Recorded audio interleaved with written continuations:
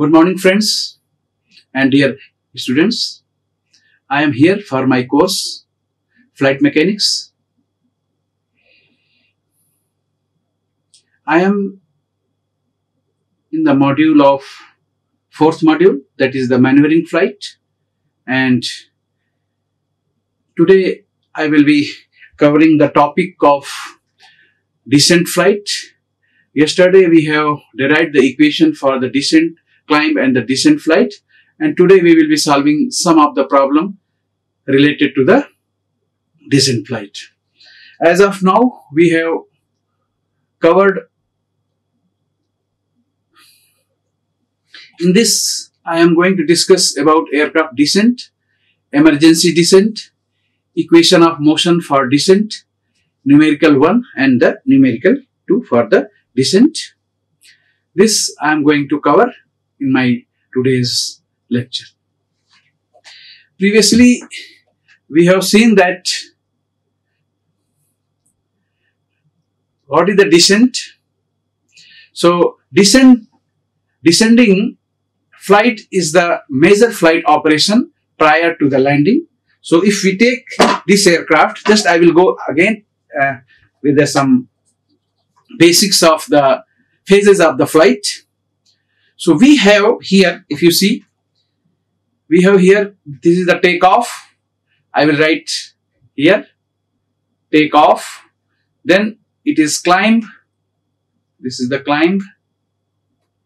This is the cruise. And here, this is the descent, loiter. This is the D-E-S-C, descent. This is the loiter. And this is a, again here, this is the landing. So as of now, we have completed the climb, we have completed the cruise, we have done the theory for the descent. Today, again, we will be discussing, so what is the takeoff? So if here is the runway and aircraft is making some speed, and as and when we get the sufficient amount of speed which is able to take off, means the lift is more than the weight, then it will be made like this. It is called the ground roll and there is a climb angle and which is a gamma. This climb angle when with a certain amount of speed we are getting then climb will start like this.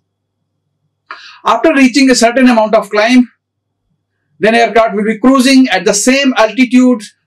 Your aircraft is horizontal. There is no banking, no yawing, nothing. Aircraft is moving in the same direction with the same altitude, with the same velocity.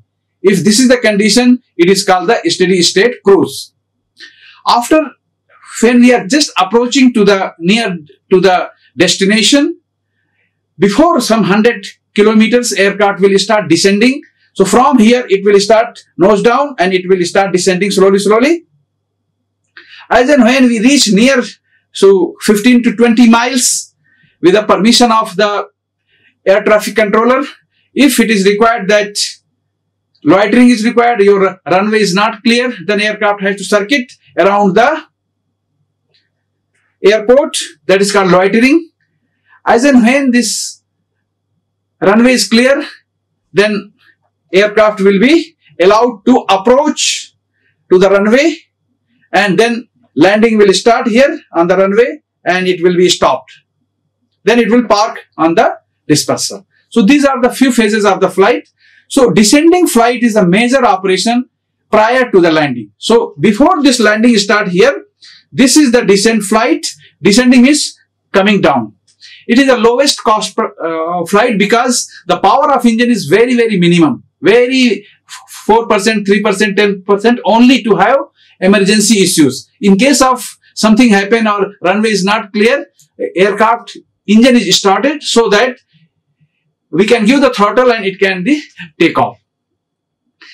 In it, aircraft decreases its altitude. So this, you can see the aircraft is, if it is H1 and this is the H2, so H1 is greater than H2 and it will be, H2 will be 0. So it is falling down. Next is, descents are essentially component of an approach landing. For large aircraft and the long range aircraft descent starts from 150 to 220 kilometers for a bigger passenger aircraft before the approach. Aircraft speed decreases from cruise velocity to the approach speed. Some essential descents are to avoid the traffic. If any aircraft is in the same level of your height, you have to descend or you have to climb. So descent is very simple. So avoid the traffic, we have to descend. Poor flight condition, if that turbulence is there, some clouds are there, icing is there, weather is not good, that time also we have to descend. Clouds are also very dangerous for the flight because cloud is also carrying some electricity, static electricity. That electricity may be discharged on the aircraft and it will create the problems. To take advantage of wind direction. Sometimes if the wind direction of certain height is good, from upper height to lower height, pilot will go and from there it will cruise the aircraft. To take advantage of the wind direction and also the warmer air where you have the warm air, your it is favorable. So every pilot will want that I should fly in the warm air and also that tail direction. If the wind direction is towards the tail, it is good. So what is the tail direction is? If aircraft is flying like this in this direction and wind is also from behind, this is called the tail, tailwind. So if it is the tailwind, you will get more range because your ground speed will be high. This ground speed is the main component which gives the more range. And if it is against the wind, if aircraft is flying against the wind, your net ground velocity is reduced. So your range will be reduced. So everyone want to fly in the direction of the wind during the cruise. However, for the landing and the takeoff, we always fly against to the wind that we have to take care because during the takeoff and the landing, we want the net relative velocity on the wing should be high so that it can lift up the load as much as possible. So here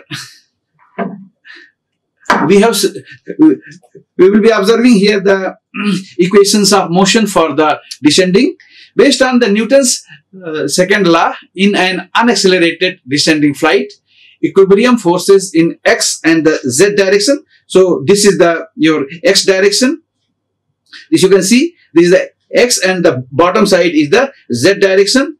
So this your drag is in the x direction and the weight is in the z direction. So if we resolve the forces in the z direction and it is non-accelerated flight, so some of the forces will be zero.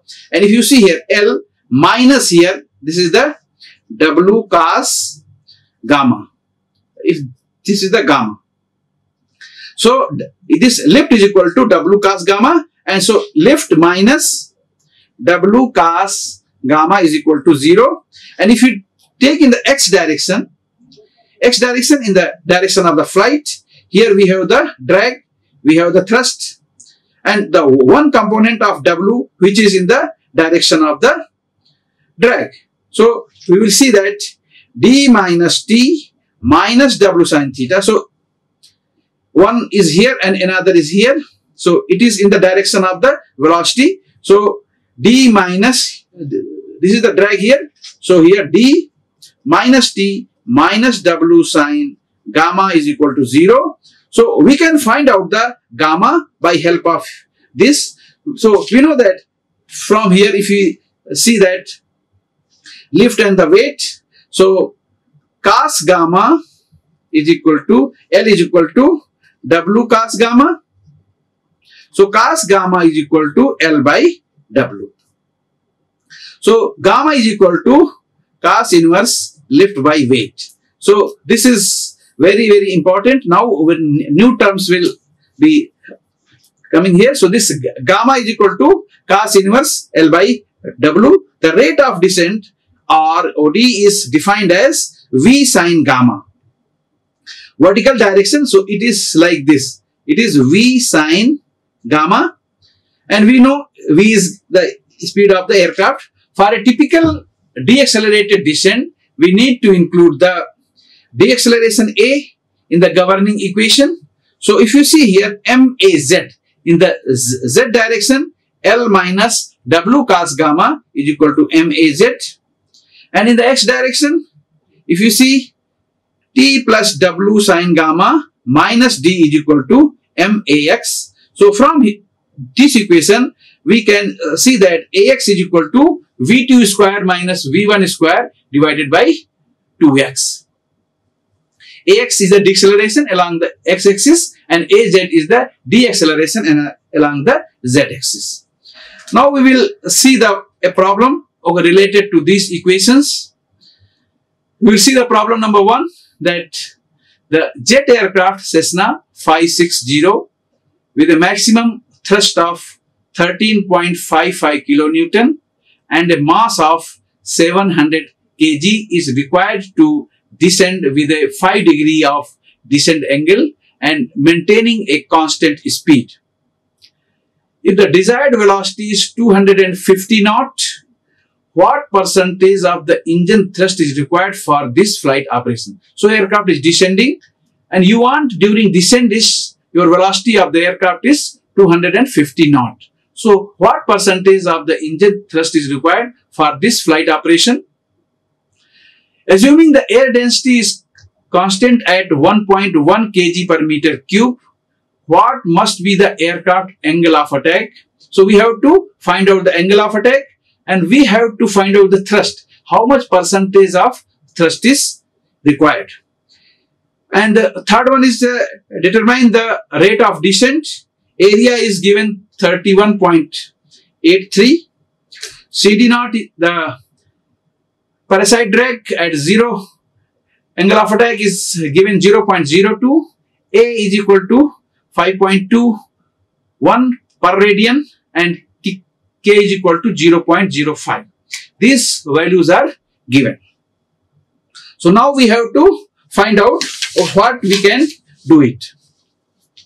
So the we have given the maximum maximum thrust. 13 how much? 13.55 13.55 kilonewton or 13 point 13 550 newton. So mass m is given 7000 kg mass is 7000 kg. Descent angle that is the gamma is equal to 5 degree. Velocity v is equal to 250 knots. We can make 250 into 0.5144 meter per second. This is the velocity in meter per second. This is also given. So we have to find out the thrust. So and also area area of the wing SW is given somewhere 31.83 meter square. CD naught is 0.02. A is given 5.21 per radian and K is equal to 0.05. These things are uh, given. So now we have to find out percentage of engine thrust. That is our first part that we have to find out how much percentage of thrust is required. So we know the equation the lift is left minus W cos gamma is equal to 0. So lift is equal to W cos gamma. W is here M G cos gamma. M is 7000. G is 9.81 into cos of 5 degree. We will get this value as lift is equal to 6 8 4 68409 newton. So this we got the lift. From the lift we have to find out the lift coefficient. And we know very well that L is equal to half rho V square SW into CL so CL is equal to CL is equal to 2 lift divided by rho V square SW 2 into 68409 divided by V square rho is equal to 1.1 into rho is 1.1 kg per meter cube is given. Velocity is 250 knots into 0.5144 square into SW is given 31.83. It is mentioned here area. So if you simplify this, we will get this CL is equal to 0.236. From this CL, we have to find out the CD and we know the relation to find the CD. So I will change the color. So to find CD and we know the relation that by the drag polar CD naught plus KCL square. So we know the CD naught is given here. This is CD naught is 0.02. K is given and we have just now find out the CL. So we will get that 0.02 plus K is 0.05. CL is 0.236 square we will get this value as 0 0.0228. So this we, we got the value. From here CD, we can find out the drag. So this drag is equal to half rho V square SW into CD.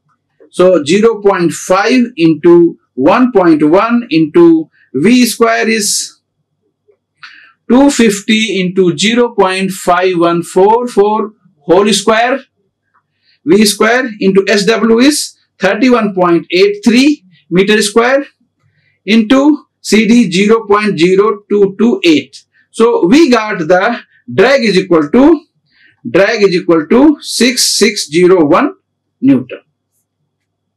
So now this we got now CL, CD, L, drag, all these aerodynamics parameters we have got. Now we can put this value in the equation and we know that drag equation, I will just change here. So now we know that d minus t minus w sine gamma is equal to 0. So t is equal to d minus w sine gamma these we have got it 6601 here minus W is given 7000 into 9.81 into sine of 5. So we will get thrust is equal to 616 Newton. So how much percentage of the thrust? So thrust is given 13550. So, but we need only this much. So, the percentage of thrust. So, this is the T of total T.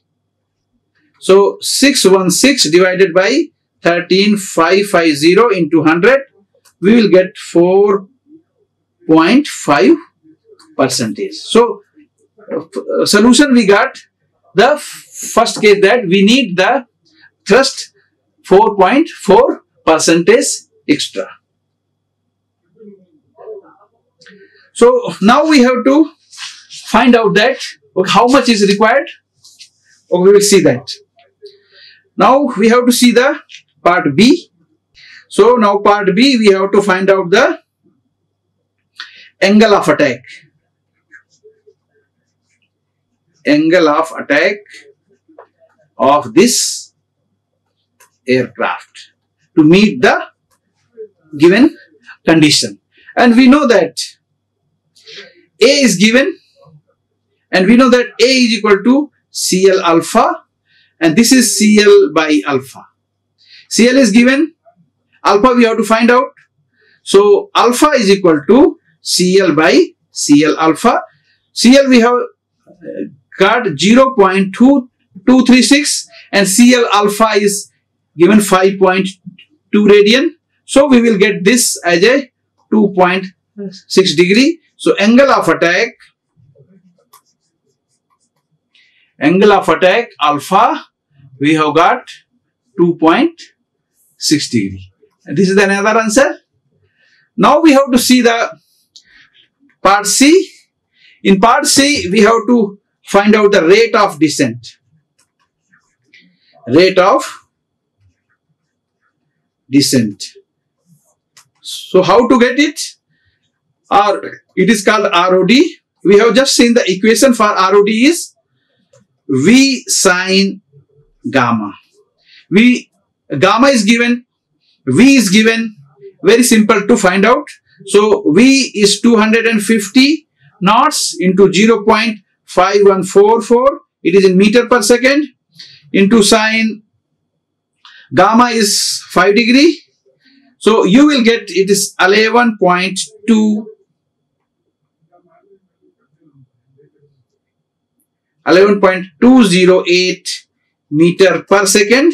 We can convert this to 2208 feet per minute. It is called FPM. So this is the answer for the this case.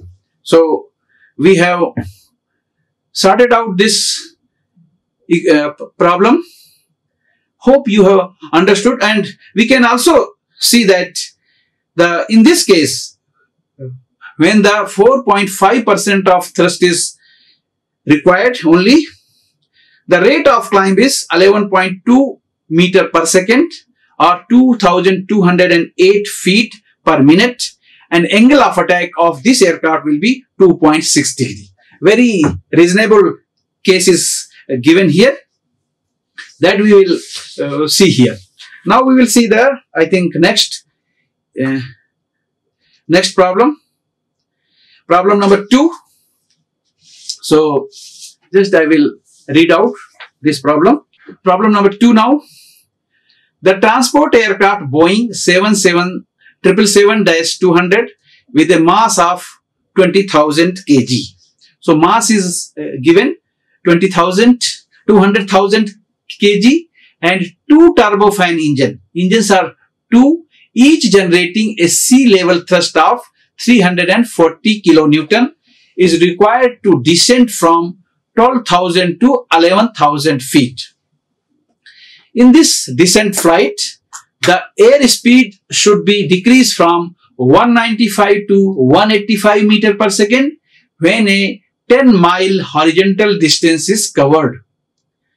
Determine what percentage of the engine thrust should be employed at the beginning of this descent. Assume that the deceleration in the z-axis is zero. Other characteristics of aircraft's area is 427.8 meter square. Span is 60.9. CD naught is 0.02 and E is equal to 0.87. So, if you see here, uh, mass of the aircraft is given and the engine thrust is also given. So, given what are the things given? mass of the aircraft. Mass of the aircraft M is equal to 200,000 200,000 kg. Then thrust of each engine that is the T. It is given 342 kilonewton. 342 into 1000 Newton. So if there are two engine, 2 into 342,000 Newton. Because we have the two engines, two turbofan engines in the problem. Next, descend from 12,000 to 11,000 feet. So, descent height Initially it was that in the 12,000. Now this will go to 11,000 feet.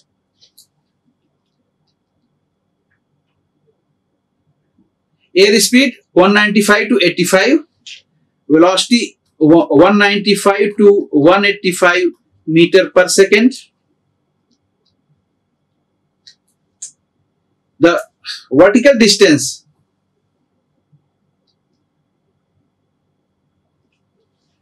VH it is a distance. So SH is given as 10 mile. 10 miles. And we know that 1 mile is equal to 1609 meter. So this we have to multiply in this. So we can get uh, 93 meter. So 1 mile is equal to 1609 meter and 1 feet is equal to 0.3048 meter. This we have to remember because here feet we have to convert these all things. At 12,000 feet, rho is 0.849 kg per meter cube. So now we have to, here area S is 427.8 meter square Span B is 60.9. What is B is 60.9 meter.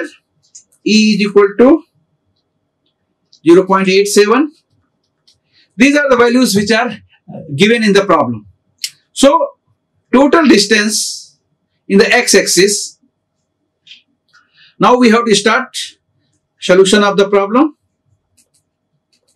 I will select the blue color. So now we see that total distance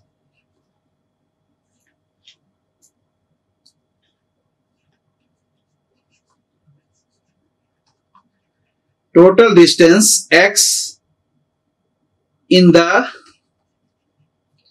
flight path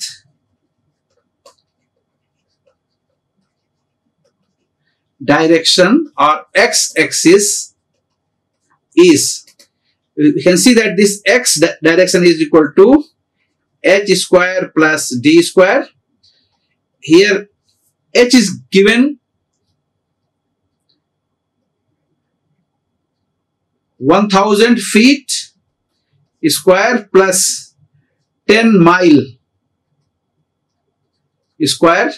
We can convert this thing feet into meter per second 304.8 meter plus 16093 it is in meter. So you will get this value as a 16096.3 meter. So this is the horizontal distance which it is covering. So now we have to see the acceleration. And here we we say that it is a, a the deceleration d deceleration along x direction that is the ax is equal to v2 square minus v1 square by 2x v2 is 185 final minus 195 square divided by 2 into 16096.3. So we will get this as a minus 0.118 meter per second square. So this is the AX. We got this is the deceleration which we are getting. Now we have to find the uh, descent angle. I will change to here. So now descent angle that is gamma. And we know that gamma is equal to tan inverse. This is h by d. So tan inverse 304.8 divided by 16093. Here you will get 0.019 radian. This can be 1.085 degree. So gamma and what is the gamma? It is a flight path angle. So if you see this, what is this gamma? It is flying like this and it is from horizontal. This is the angle which is visible here. This is the gamma. So your so it is descending. So from this horizontal is here. So this angle is your minus because it is descending like this. So this is the conclusion for this uh, uh, descent angle. We have oh, okay got it. Now we have to see the we have to calculate few more parameters before we start this uh, things. So we have to we have to calculate few parameters like aspect ratio and we know that it is b square by s. B is 60.9 square divided by 4 27.8 8.67 k we know that 1 by pi e aspect ratio 1 upon 3.14 e is equal to 0.87 aspect ratio 8.67 you will get this as a 0.042 so we got the aspect ratio and we got the value of the k. Now we have to see in the vertical direction z direction where lift and weights are acting and then we have to find out the cl and the other parameters. So we can see here that in z direction in z direction the equation of motion is L minus W of cos gamma is equal to MAZ. So AZ is equal to 0 in vertical direction.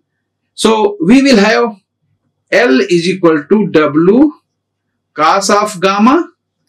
W is given 200,000 into 9.81 cos of 1.085. We have got this value in the previous gamma value we have find out. So we will get this lift is equal to 1960978 Newton. So this we got the lift. We can also write this as a 1960.97 kilo Newton. Now we have to find out the coefficient of lift. So lift coefficient, we know this lift is equal to half rho v square s into CL. So this CL is equal to 2 lift divided by rho v s, rho v square s. 2 into L we have find out 1960978 divided by rho is 0.849 given velocity is 195 highest velocity during the starting and area is 427 4 427.8 so we will get this 0.284 so this is the value of CL now we have to find the value of CD. Now to find the coefficient of drag. Drag CD. So we know that there is a relation between CD and the CL and this relation is like this. CD is equal to CD naught plus KCL square CD naught is given 0.02. K we have just now find out 0.042 and CL is 0.284 square. So we will get CD is equal to 0.0234. So if you know the CD, you can also find out drag, total drag. So just you will see in the, so now drag is equal to D half rho V square S CD. So 0.5 rho is 0.849 velocity is 195 square s is equal to 427.8 and cd is equal to 0.0234 you will get this value as uh, 1016164 newton so from here we can find out the thrust using the uh, thrust equation. So we will see the thrust. Thrust is equal to T is equal to D minus W sine gamma. D is 161664 minus W is equal to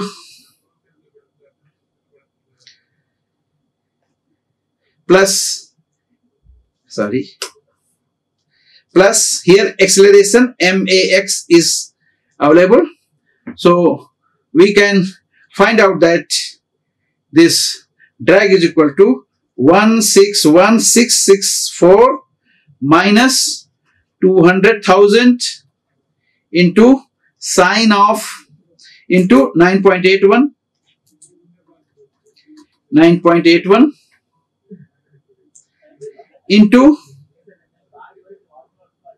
into sine 1.085 plus 200,000 into acceleration minus 0.118. So you will get this value as 1.100916 Newton or 100.9 kilo Newton. So this is the thrust. So now we have to see the, I will just write here. Now at uh, 12,000 feet, it is in troposphere, TAV by T is equal to rho by rho naught. So we can find TAV is equal to T into T into rho by rho naught. So we know that it is 2 into 3 4 2000 it is given. Rho is 0 0.849 divided by 1.225 you will get this thrust available is equal to 474025 newton. So this is the thrust available. And if you see the percentage, if you want to see the percentage, so this will be 100916 which we have find out divided by 474025 percentage will come 0.213 or 21.3 percentage. So in this condition, the pilot needs to apply 21.3 percentage of the engine thrust for this given case.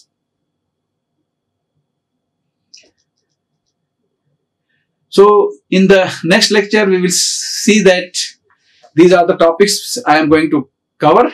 Effect of wind in aircraft performance, types of wind, that is headwind and the tailwind, ground velocity, range equation with ground velocity, effect of head and tailwind in the fuel consumption on propeller aircraft, effect of head and tail wind for the jet aircraft, gliding flight. These are my references.